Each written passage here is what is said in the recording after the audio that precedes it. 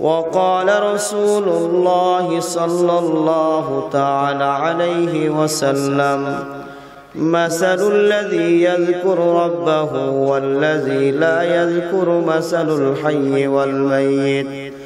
وقال رسول الله صلى الله تعالى عليه وسلم الشيطان جاسم على قلب بني آدم. فإذا ذكر الله خنسا وإذا غفل وسوسا أو كما قال النبي صلى الله تعالى عليه وسلم. محبت شد شبای درود ابراهیم پوری. اللهم صل على محمد وعلى آل محمد. كما صليت على إبراهيم. وعلى آل إبراهيم إنك حميد مجيد.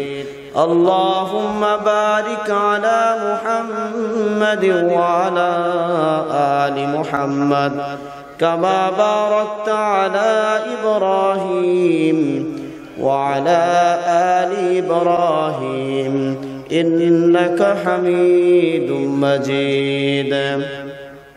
سبحان الله وبحمده سبحان الله العظيم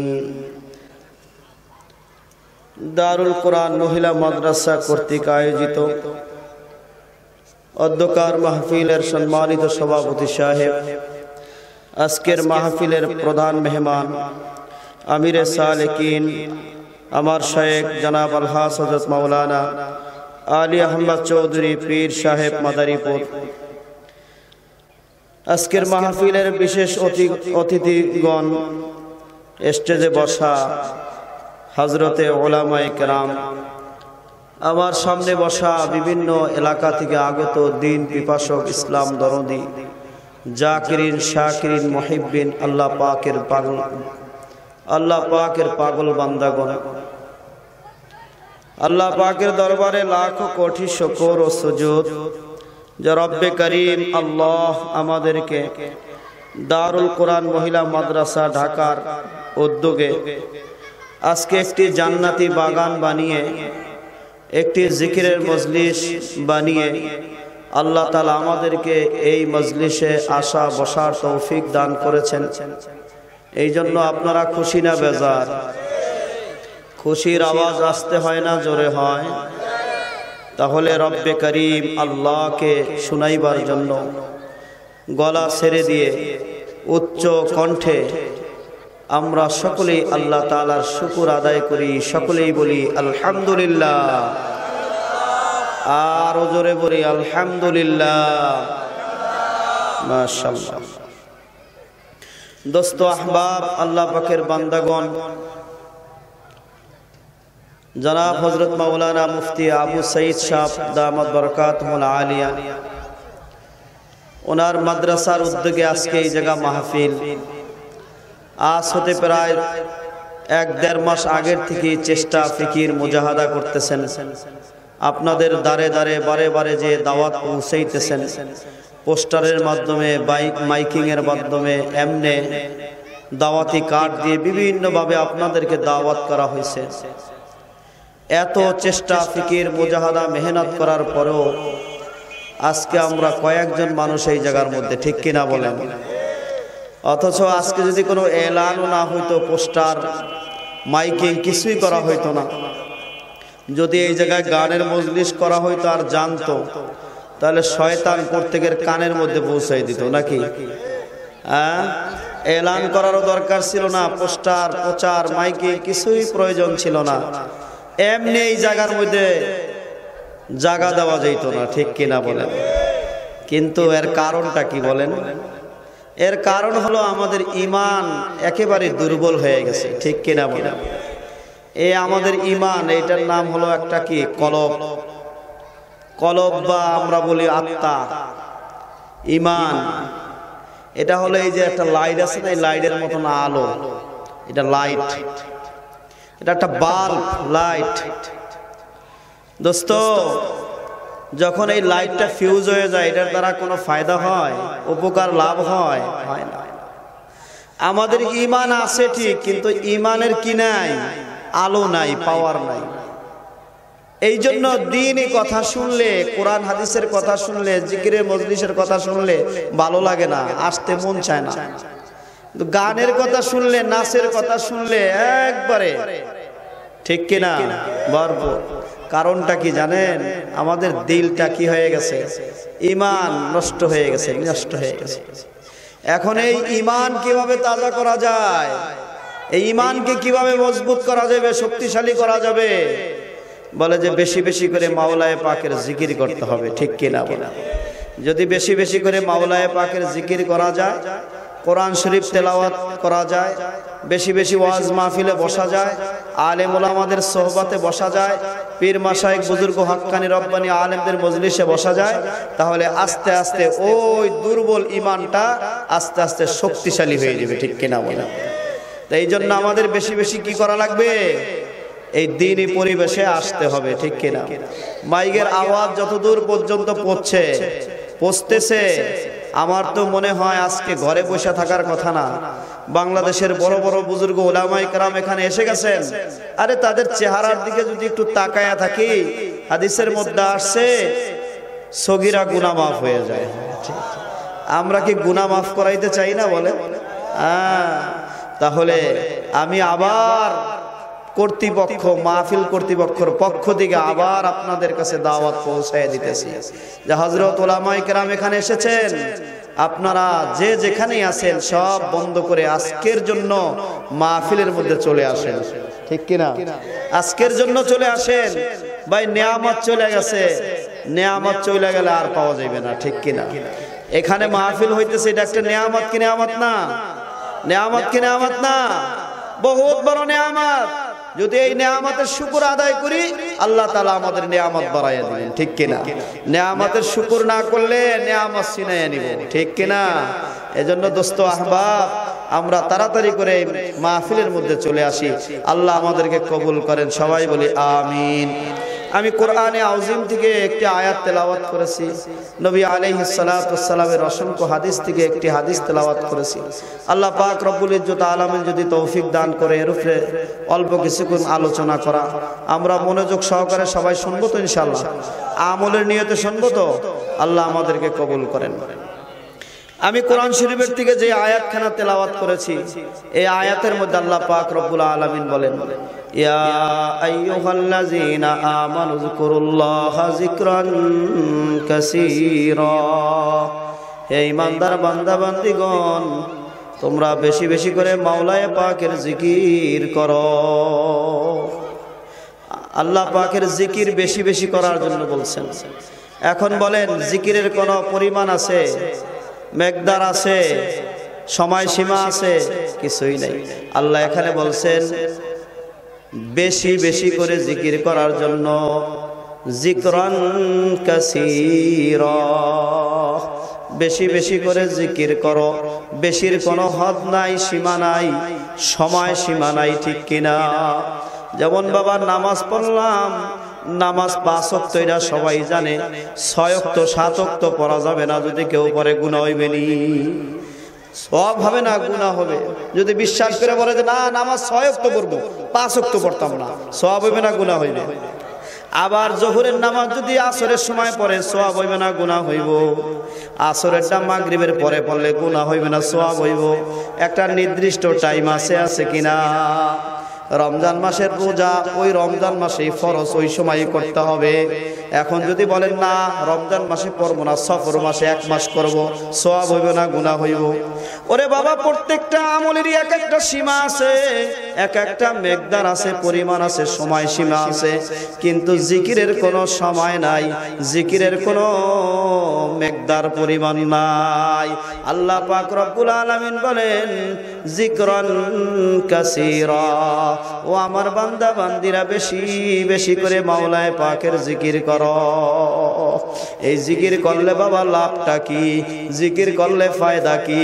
বলে, জিকির করলে অন্তরের মধ্যে যে জং ধরে গেছে, এই আমাদের ইমানটা যে দুর্বল হয়ে গেছে, ইমানের মধ্যে ময়লা পড়তে পড়তে জং ধরতে ধরতে ধরতে ধরতে, ওই ইমানটা কি হয়ে গেছে? দুর্বল হয়ে গেছে ময়লা যুক্ত হয়ে গেছে। এখন এই ময়লা কীভাবে পরিষ্কার করা যায়? ও দোস্ত আহবাব, আল্লাহ পাকের বান্দা, বান্দিগণ, দুনিয়ার সব জিনিসের মধ্যে ময়লা পরে কি পরে না?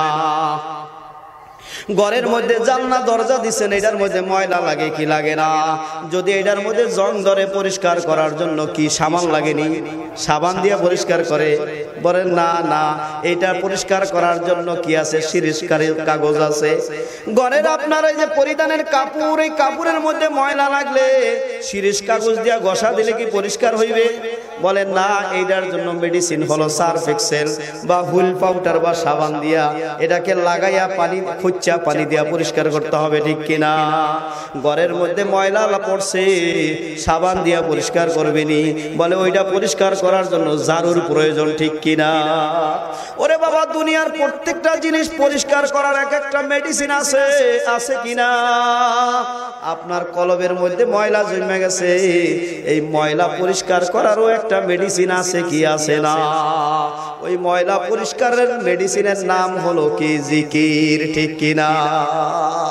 এই ময়লা কলবের ময়লা যদি পরিষ্কার করতে চান, কলবের জং দুটি জং দূর করতে চান, তাহলে বেশি বেশি করে মাওলায় পাকের জিকির করা লাগবে। লা ইলাহা ইল্লাল্লাহ, লা ইলাহা ইল্লাল্লাহ, লা ইলাহা ইল্লাল্লাহ, লা ইল্লাল্লাহ মুহাম্মাদুর এই মাওলায় পাখের জিকির করলে কি হয়? এই অন্তরের জং ময়লা দূর হয়ে যায়, এই দিলটা পরিষ্কার হয়ে যায়। আর ময়লা দূর হওয়ার মানে কি? এই ইমানটা কলবটা তাজা হয়ে যায়, ঠিক কিনা বলে? আমার নবী বিশ্ব নবী রহমাতুল্লিল আলমিন বলেন কলান নবী সাল্লাল্লাহু তাআলা আলাইহি ওয়াসাল্লাম, মাসালুল লাযী ইয়াযকুরু রাব্বাহু ওয়াল লা ইয়াযকুরু মাসালুল হাইয়্য ওয়াল মাইয়িত যে জিকির করে আর যে জিকির করে না যে জিকির করে সে হলো জীবিত আর যে জিকির করে না সে মৃত্যু সাদৃশ্য যে মাওলায় পাকের জিকির করে, তার দিলটা হলো জীবিত। আর যে মাওলায় পাকের জিকির করে না, তার দিলটা হলো মৃত্যু। আল্লাহ আকবার। আপনি মাওলায় পাকের জিকির করবেন, দিলটা তরুতাজা হয়ে যাবে। দিলটা শক্তিশালী হয়ে যাবে, তাজা হয়ে যাইবে। আর দিল জিকির করবেন না, দিলটা মইরা যাইব। মৃত্যু। কে বলছেন? নবীজি বলছেন। এই জন্য যদি ইমান মজবুত করতে চান, তাজা করতে চান, তাহলে বেশি বেশি করে মাওলায় পাকের জিকির করা লাগবে। যখন আপনি মাওলায় পাকের জিকির করবেন তখন আপনার এই দিলটা পরিষ্কার হয়ে যাবে, গুণামুক্ত হয়ে যাবে ময়লা মুক্ত হয়ে যাবে। এই দিলের মধ্যে আর কোনো গুণা থাকবে না, গুণা থাকবে না। এই দিলের মধ্যে যখন, তখন মাওলায় পাকের স্থান হয়ে যাবে। যখন আপনি জিকির করেন, তখন এই দিলের মধ্যে, আপনার এই কলবের মধ্যে আল্লাহ পাকের হয়ে যায়, আল্লাহ তালার বসার জায়গা হয়ে যায়। আর যখন আপনি জিকির করবেন না, তখন এই দিল থেকে মাওলায় পাক সরে যায়। এই দিলের মধ্যে তখন ইবলিস আইসা বাসা বন্দে আমার নবী বলেন আশাইতানু জাসিমুন আলা কলবি বানি আদম, ফাইজা যাকারাল্লাহ ওয়াইজা ওয়াসওয়াসা। যখন মাওলায় পাকের জিকির করেন, তখন ইবলিস আপনাকে ওয়াসওয়াসা দিতে পারে না, আপনাকে ধোকা দিতে পারে না, কুমন্ত্রণা দিতে পারে না।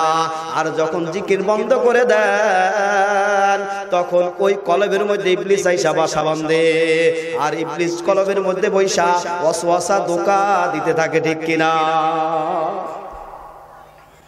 ও দোস্ত এই জন্য জিকির করা দরকার আছে কি আছে না? জিকির করা লাগবে কি লাগবে না? মাওলাকে যদি পাইতে চান, মাওলারে বেশি বেশি ডাকতে হবে কি হবে না?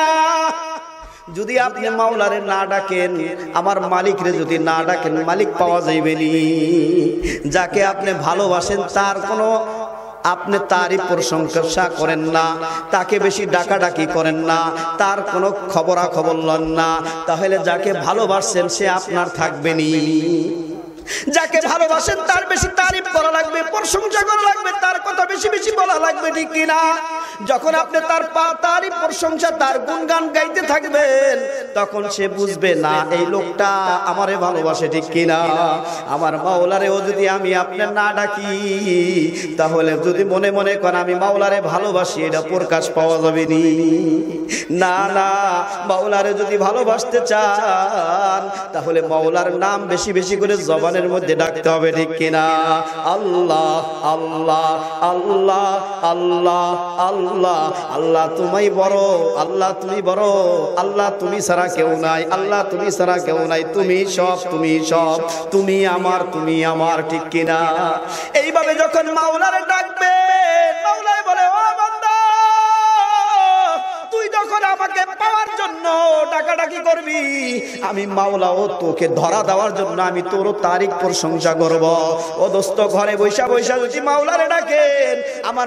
আপনার করে। আর মাওলারে যদি পাওয়ার জন্য করিয়া ডাকতে থাকেন, আমার মাওলা ফেরেস্তাদেরকে নিয়ে বানাইয়া আপনার তারিখ প্রশংসা করতে থাকে। আপনি মাওলারে ডাকবেন, মাওলাও আপনাকে ডাকবে। আপনি মাওলার স্মরণ করবেন, আল্লাহর স্মরণ করবেন, আল্লাহ আপনার স্মরণ করবে ঠিক কিনা? ও দোস্ত, ঘরে বসে বসে মাওলারে পাওয়া যায় না, মাওলারে পাওয়া যায় না। আল্লাহকে যদি পাইতে চান, মাওলাকে পাওয়ার মেহনত মুজাহাদা করা লাগবে, চেষ্টা করা লাগবে, ঠিক কিনা? চেষ্টা ছাড়া কোনো কিছু হয় না, হয়নি, কোনো কিছুই হয় না। আমার মালিককে যদি পাইতে চান, মালিকের সাথে দুস্তি করতে চান, মোহাব্বত করতে চান, তাহলে মাওলাকে পাওয়ার জন্য মাওলারে বেশি বেশি করে ডাকা লাগবে কি লাগবে না। ও দোস্ত ইব্রাহিম ইবনে আদহাম আলাই উনি বড় একজন বাদশা ছিলেন। এই বাচ্চা উনি একদিন ঘরের মধ্যে ঘুমায় রয়েছে রাত্র গভীর। আল্লাহ আকবার। ওনার ঘুম ঘুম আসতেছে এমন সময়। ঘরের ছাদের মধ্যে কে যেন হাঁটতেছে টক টক আওয়াজ হইতেছে। বাদশার আওয়াজ, ওই হাঁটার আওয়াজে বাদশার ঘুম ভেঙে গেছে। কি ভেঙে গেছে? ঘুম ভেঙে গেছে। বাদশার রাগ হয়ে গেছে। কে আমার ঘরের ছাদের মধ্যে টক টক করে হাঁটতেছে? কে হাঁটতেছে? যখন বাদশাহ আওয়াজ দিছে, ছাদের থেকে জবাব আসতেছে বাদশাহ, আমি। কি ব্যাপার? এখানে কি করো? বলে বাচ্চা আমার উঠ হারায় গেছে। তালাশ করার জন্য আমি আপনার ঘরের ছাদের মধ্যে তালাশ করতেছি, খোঁজাখুঁজি করতেছি। বাচ্চাকে ব্যাকুপ কোথাকার? উঠ হারায় গেছে, জঙ্গলে তালাশ কর। উঠ হারায় গেছে, তুই ওই বনের মধ্যে তালাশ কর, মাঠের মধ্যে তালাশ কর। মাঠে জঙ্গলে তালাশ না কইরা আমার এই রাজদরবারের ছাদের মধ্যে তোর উঠার আর তুই তালাশ করতেছ তোর মতন ব্যাকুপ তোর মতন বোকা তো আল্লাহর জমিনে আর কেউ নাই। বলে বাদশাহ যদি আপনার কথাই সত্য হয়, তাহলে আপনি বড় ব্যাকুপ আমি ব্যাকুপ না, আপনি বড় ব্যাকুপ ও বাদশাহ উট যদি মাঠে আর বনে তালাশ না করিয়া যদি ঘরের ছাদের উপরে তালাশ করে পাওয়া না যায় ও বাদশাহ, আমার মাওলাকে সকাল সন্ধ্যা না ডাইকা, পাঁচ ওয়াক্ত মসজিদের নামাজের আজান হয় মসজিদে না যাইয়া। জিকির আজকার না করিয়া, কোরআন তেলাওয়াত না করিয়া, ওয়াজ মাহফিলের মজলিসের মধ্যে না আইয়া, বুজুর্গ ওলামা ইকরামদের মাহফিলের মধ্যে না বইসা, আমার মাওলারে পাওয়া যাইবে নি। আমার মাওলারে যদি পাইতে হয়, ওই যে মুয়াজ্জিন সাহেব আজান দিতেছে, হাইয়া আলাস হাইয়া আলাল আসো তোমার কল্যাণের জন্য, আসো তোমার কামিয়াবির জন্য। তখন মুয়াজ্জিনের আজান শোনার পর মসজিদে যাই না, মাওলা পাওয়া যাইবে নি। রমজান মাসে রোজার জন্য এলান করা হয়, রোজা রাখি না, মাওলা পাওয়া যাইবে নি। দারুল কোরআন মহিলা মাদ্রাসার পক্ষ থেকে মাহফিলের ব্যবস্থা করা হইল। বুজুর্গ ওলামাই গ্রাম এখানে আসবেন তাশরিফ আনবেন, নসিহাত করবেন। এই মাহফিলের মধ্যে আসলাম না, মাওলা পাওয়া যাইবে নি। ও দোস্ত, ঘরের মধ্যে শুয়া শুয়া মাওলারে পাওয়া যাবে না। মাওলারে পাইতে হইলে চেষ্টা মুজাহাদা করা লাগবে। আমার মাওলা বলেন, মান তাকাররাবা মিন্নি শিরবান, তাকাররাবতু জিরাআন ওয়া মান আতানি ইয়ামশি আতাইতুহু ওয়ালাতান আমার মাওলারে পাওয়ার জন্য যদি তুমি এক বিগত সামনের দিকে আগাও, আমার মাওলা তোমাকে ধরা দেওয়ার জন্য এক হাত সামনের তোমার দিকে আগায়া যাইব। আমার মাওলারে পাওয়ার জন্য যদি সামনের দিকে তুমি আমার মাওলা তোমাকে ধরা দেওয়ার জন্য দৌড়া দৌড়া তোমার দিকে আগাইবে। ঠিক কিনা? আমার আল্লাহ পাক বলেন আল্লাযীরা জাহাদু ফিনা লানাহদিয়ান্নাহুম সুবুলানা ওয়া লামাল মুহসিনিন। আমার মাওলারে পাওয়ার জন্য, নেক কাজ করার জন্য যদি তুমি চেষ্টার মুজাহাদা তোমাকে পাওয়ার জন্য, নেক কাজ করার জন্য তোমার রাস্তা সহজ করে দিবে দিবে কি দিবে না? তুমি যদি নামাজ পড়ার জন্য উজু করে ঘর থেকে বের হও, মসজিদ পর্যন্ত পৌঁছায় দেওয়ার জন্য আমার মাওলা জিম্মাদারি নিয়ে নিবে ঠিক কিনা? ঘর থেকে যদি মাহফিল শোনার জন্য বের হয়ে যাও, গোলাম আমার মাওলা, মাহফিল পর্যন্ত তোমাকে পৌঁছায় দেওয়ার জিম্মাদারি নিয়ে নিবে ঠিক কিনা? ও দোস্ত, নেক আমল করার জন্য যদি আপনি একটু মুজাহাদা চেষ্টা করেন, আমার মাওলা আপনার দ্বারা নেক কাজ করায়া সারবে ঠিক কিনা? এই জন্য দোস্ত, আমার মাওলারে না নিয়া কিন্তু কবরে যাওয়া যাইবে না ঠিক কিনা? আমার মাওলারে নিয়ে কবরে চলেন যাই ঠিক কিনা? ও দোস্ত, যখন ইব্রাহিমের না ধাম বুঝে গেলেন বুঝে গেলেন হায়, কি ব্যাপার? এমন কথা, আশ্চর্য কথা। ঘরে বৈশা বৈশা মনে হয় মাওলারে পাওয়া যাবে না। ইব্রাহিম আলাই রাজত্ব সাইরা দিয়া, সুখ শান্তি আরাম আয়েশের বিছানা সাইরা দিয়া, মালিককে তালাশ করার জন্য জঙ্গলে চলে গেলেন। আমার মাওলাকে পাওয়ার জন্য, মাওলাকে ধরার জন্য পাগল হয়ে গেলেন। ইব্রাহিম, তুই ধরার জন্য পাগল হয়ে গেছো যা যা যা যা। আমি মাওলা তোর সাথে ধরা দেওয়ার জন্য আমিও আগায় আসলাম। ও দোস্ত, ইব্রাহিম ইবনে আদহাম এমন ভাবে মাওলার সাথে মিলে গেছে। আমার মাওলার সাথে এমন ভাবে মিলে গেছে। আমার মাওলার সাথে এমন ভাবে মিলে গেছে। আল্লাহু আকবার আল্লাহু আকবার। ওই জমানার বড় অলি হিসাবে আল্লাহ তাআলা তাকে কবুল করছেন ঠিক কিনা? একদিন ইব্রাহিম আদহাম রাহমাতুল্লাহি আলাইহিকে আল্লাহ তাআলা কেমন কবুল করছে? কত কত বড় কবুল করছেন দোস্ত? যেই রাস্তা দিয়া যাইতেন, যেই রাস্তা দিয়া যাইতেন, ইব্রাহিম ইবনে আদহাম রাহমাতুল্লাহি আলাইহি ওই রাস্তার মধ্যে যদি কোনো ময়লা পড়া থাকতো, ওই ময়লাটা ইব্রাহিম ইবনে আদহামের কদম করার আগে ওই মাটিটা ফাঁক হইয়া, ওই মাটির মধ্যে ময়লা ডুইবা যাইত। ইব্রাহিম ইবনে আদহামের পায়ের মধ্যে ময়লা লাগতো না। ও দোস্ত আহবাব, যা বলতো তাই হয়ে যেত। আমার আল্লাহ পাক বলেন মাল্লাহুল মাওলা ফালাহুল কুল। যখন আপনি মাওলার হয়ে যাবেন, মাওলা আপনার হয়ে যাবেন আপনি যখন আল্লাহর হয়ে যাবেন, আল্লাহ আপনার হয়ে যাবে, ঠিক কিনা? আপনার কোনো চিন্তাও থাকবে না, কোনো ভয়ও থাকবে না, কোনো পেরেশানি থাকবে না। কারণ মাওলায় পাক আপনার ঠিক কিনা?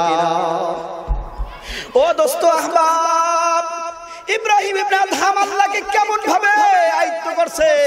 মাওলায়ে পাকের কেমন গোলাম হয়ে গেছে? মাওলার সাথে কেমন মোহাব্বত হয়ে গেছে? ও দোস্ত, বুঝাইবার জন্য কিতাবের মধ্যে আসছে, ইব্রাহিম ইবনে আদহাম হাতের সুই সমুদ্রের মধ্যে ফালায়া দিছে। মাছকে যদি বলে, মাছ, আমার ওই সুইগুলো নিয়ে আস। যেই সুইটা ফালায়া দিছে, ইব্রাহিম ইবনে আদহামের ওই পানির নিচে ডুব দিয়া সুই তালাশ করার দরকার হয় না। যদি মাছকে বলে, মাছ আমার সুইটা নিয়ে আয়। বলতে দেরি হয়, ওই সমুদ্রের তলদাস থেকে ওই ইব্রাহিম আদামের সুই আনতে দেরি হয় না। কারণ সে আল্লাহর হয়ে গেছে। বলে, তুই আমার হইছস আমি তোর হয়ে গেলাম। ও দোস্ত, সব জায়গায় মাওলায় পাকের জিকির আছে কি আছে না? আপনি ভাত খাইতেছেন, এই সময় মাওলায় পাকের জিকির আছে। খানা শেষ করছেন, সেই সময় মাওলায় পাকের জিকির আছে। আপনি উজু করতেছেন মাওলায় পাকের জিকির আছে। উজু শেষ করছেন মাওলায় পাকের জিকির আছে। আপনি বাথরুমের মধ্যে ঢুকছেন, আল্লাহ পাকের জিকির আছে আছে কি না বাথরুম থেকে বের হইলে মাওলায় পাকের জিকির আছে না নাই? মসজিদে ঢুকতেছেন, জিকির আছে কি আছে না? মসজিদ থেকে বের হইলেন, জিকির আছে কি আছে না? যখন আপনি সব জায়গার মধ্যে মাওলায় পাককে স্মরণ করবেন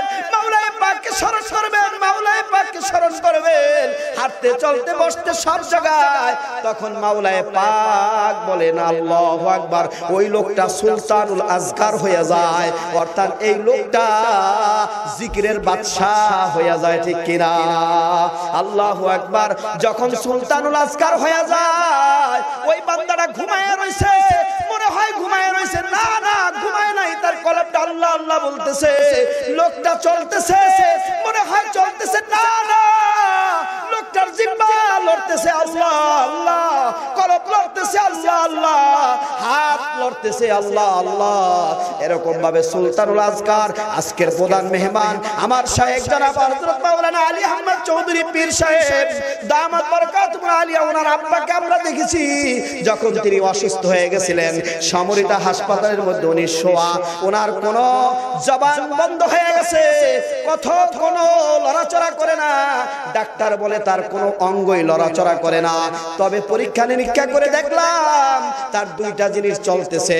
এক নাম্বার তার জবানটা জিব্বাটা লড়তেছে আর দুই নাম্বার হাতের করগুলো লড়তেছে। আমার নিজের চোখেও আমি দেখি, হাতগুলো খালি এরকম করতেছে এরকম করতেছে আর জবানটা কেমন ধরে লড়তেছে।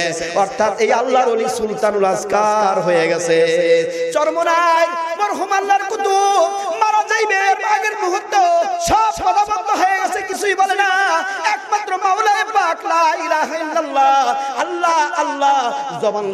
হাত লড়তেছে। এরকম ভাবে আল্লাহ কার ইব্রাহিম সাহেব কথা বলেন, থারুক সাহেব রহমাতুল্লাহ আলাইহি বলেন, এরকম যত বুজুর্গ পীর মাশায়েখ আছে, তারা সুলতানুল আজকার হয়ে গেছে।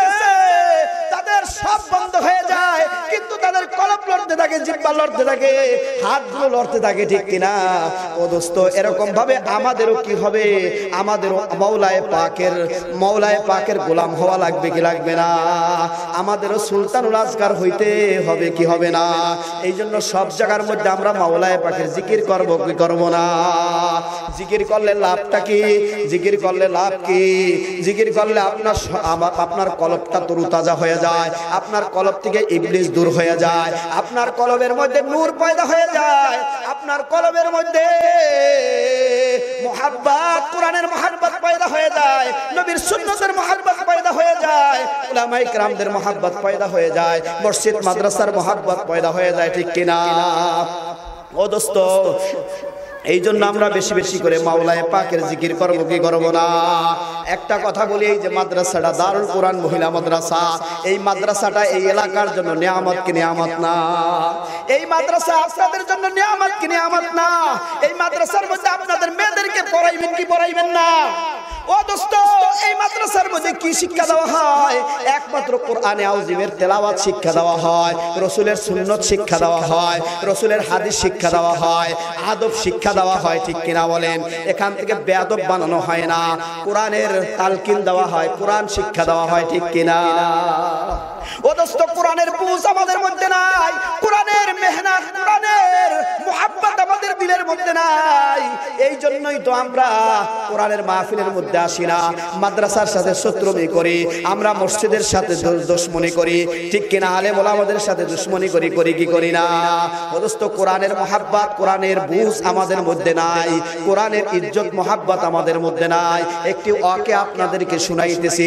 একজন বধু সাহাবী, একজন গ্রাম্য সাহাবী, গ্রাম্য বধু মনে হয় অশিক্ষিত, মূর্খ। এদেরকে বধু বলা একজন বধু সাহাবী আলাইহি সাল্লামের দরবারে এসে বলতেছি, ইয়া রাসূলুল্লাহ, আপনার কাছে যে একজন দেও আসে, দেও। একজন দেও আসে দেওটার নাম কি? দেও বুঝছেন নি। দেও? দেও না? নবী আলাইহিস ওই সাহাবীকে বলেন, দেও না দেও না। আমার কাছে যেই ফেরেশতা আসে, এই ফেরেশতা হলো সমস্ত ফেরেশতাদের সর্দার। এই ফেরেস্তাদের সর্দার, এই ফেরেস্তাটার নাম হলো হজরত জিবরিল আলাইহিস সালাতু ওয়াসসালাম, সুবহানাল্লাহ। এবার বধু সাহাবী বলে, ইয়া রাসূলুল্লাহ, ওই যে যে জিবরাইল আলাইহিস সালাম আসে, ফেরেশতা আসে, এই ফেরেশতা না আপনার কাছে কি গীত গানি গায়? এই গীত কি গাই গীত গীত গীত আমার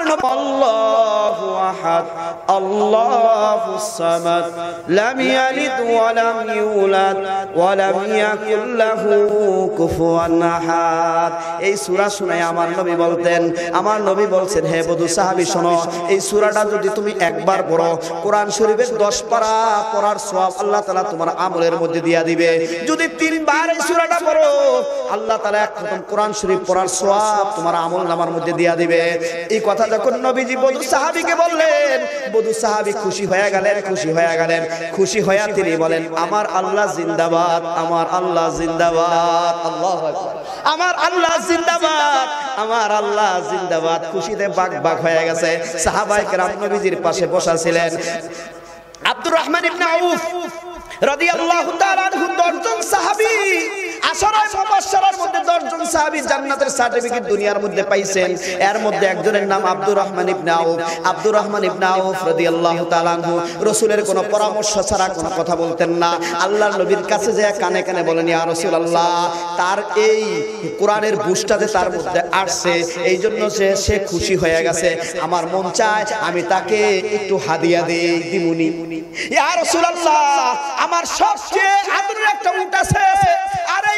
Uta!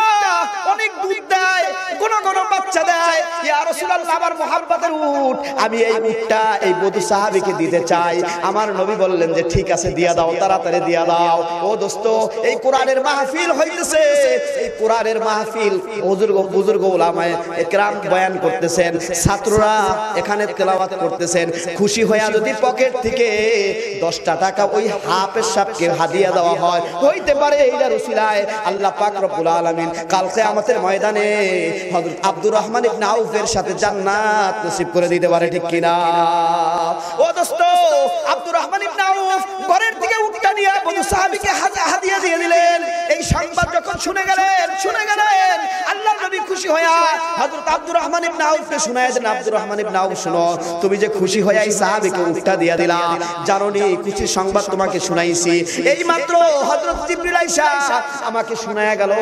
তোমার জন্য জান্নাতের মধ্যে আল্লাহ রাব্বুল আলামিন আল্লাহু আকবার 87 হাজার সারিবদ্ধ করে তোমার জন্য রেখে দিছে। সুবহানাল্লাহ। কত হাজার? 87 হাজার। উট সুন্দর করে সাজায়া সারিবদ্ধ করে হযরতে আব্দুর রহমান ইবনে আউফের জন্য রব্বে কারীম আল্লাহ জান্নাতের মধ্যে সাজায়া রাখছেন সুবহানাল্লাহ। অদস্ত যখন এই সংবাদ আল্লাহর নবী শুনাইয়া দিলেন অন্যান্য সাহাবীরাও একটা একটা করে যার উট আছে ঘরের দিকে আই নাই না। বধু সাহাবীকে হাদিয়া দেওয়া ধরছে, কিতাবের মধ্যে আসছে, ওই সাহাবী মদিনার থেকে যখন তার গ্রামের মধ্যে যাইতেছে, এক হাজার বড় উটের একটা বাহিনী বাহিনী নিয়া, পাল নিয়া তার বাড়ির দিকে রওনা দিয়েছে বলুন, সুবহানাল্লাহ। আজকে দারুল কোরআন মহিলা মাদ্রাসা, এটা আপনাদের জন্য নিয়ামত কি নিয়ামত না এখানে কোরআন শরীফ শিক্ষা দেওয়া হয়, এলেম শিক্ষা দেওয়া হয়, নবীর সুন্নাহ শিক্ষা দেয়। এই মাদ্রাসার মধ্যে আপনারা দান করবেন কি করবেন না? সহযোগিতা করবেন কি করবেন না? মোহাব্বত করবেন কি করবেন না? ঠিক কিনা? ও দোস্ত, এখানে কোরআন শিক্ষা দেওয়া হয়, জিকির শিক্ষা দেওয়া হয়, আর এখান থেকে যা শিক্ষা দেয়, এইগুলো যদি, এই ঔষধগুলো যদি আমি গ্রহণ করতে পারি, আমল করতে পারি, তাহলে আমার দিলের মধ্যে যে জং আছে, এই জংগুলো দূর হয়ে যাবে। ও দোস্ত, এই দুনিয়ার মধ্যে কেউ থাকতে পারে না, কেউ থাকতে পারবে না। আপনিও থাকতে পারবেন না, একদিন একদিন দুনিয়ার থেকে চলে যাইতে হবে। এইটাই দিচ্ছি, ঠিক কিনা? ও দোস্ত, কি নিয়ে যাইবেন? মাওলারে পাক মাওলায়ে পাক কে নিয়ে কবরে যান? তাহলে আমার মাওলায়ে পাক কে নিয়ে যদি কবরে যাইতে পারেন কবরে কোনো ভয় থাকবে না। হাসরের ময়দানেও কোনো ভয় থাকবে না। কোথাও আপনার ভয় থাকবে না। সব জায়গায় আমার মাওলা আর মাওলা। এই জন্য আসন করে বসিয়া চক্ষুখানা বন্ধ করিয়া আল্লাহ মাওলায় পাকের জিকির খানা করেন। আর এই প্রতিজ্ঞা করেন আমি প্রতিদিন। সকাল, সন্ধ্যা, কমপক্ষে দুই বেলা আমার মাওলাকে নিয়ে বসবো আর আমার মাওলাকে ডাকবো। পারবেন কি পারবেন না? এই জন্য চক্ষুখানা বন্ধ করিয়া, আসন খান আসন করিয়া বসিয়া মাওলায় পাককে আমরা সকলে ডাকি। সবাই বলি, লা ইলাহা ইল্লাল্লাহ, লা ইলাহা ইল্লাল্লাহ।